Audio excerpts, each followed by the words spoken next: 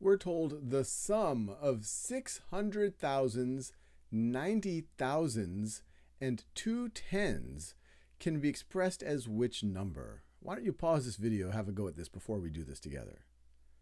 All right. Now the way I'm going to approach it is I'm going to think about what each of these parts of the number, how I can write them down just as a number, and then I'm going to add them up. So if I wanted to write 600 thousands, how would I write that?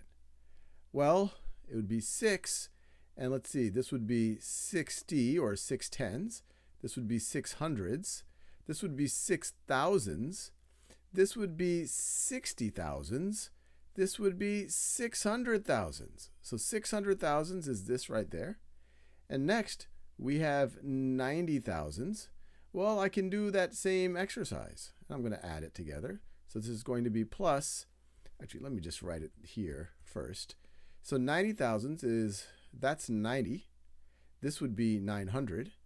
That would be 9,000. That would be 90,000. Another way to think about it, I have a 9 in the 10,000s place. So I have 9 10,000s, which I guess is the same thing as 90,000s. So it's going to be the 600,000s plus 90,000. And actually now let me, I'm going to set this up so I can add them together. So I have the place values lined up. And then I'm going to add to that two tens. Well, this is just 2. And if I put one more zero here, that's two tens, or also known as 20. And how do I know? Uh, or another way to think about this, I have the 2 in the tens place. So that's two tens. So that is going to be two tens right over there.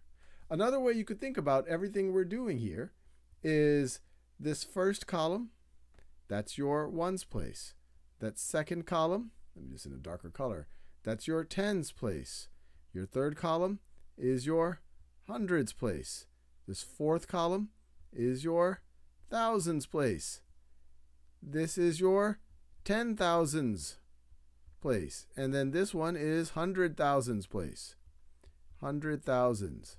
So it's six hundred thousands and nine ten thousands, which is the same thing as ninety thousands. And then we have two tens. But let's all let's add it all up.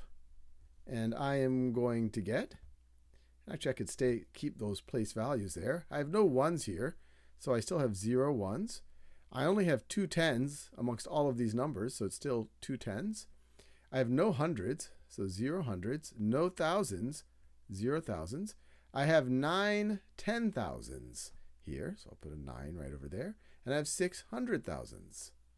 So what I'm left with is this number right over here, and if we look at the choices, that's exact, exactly choice C.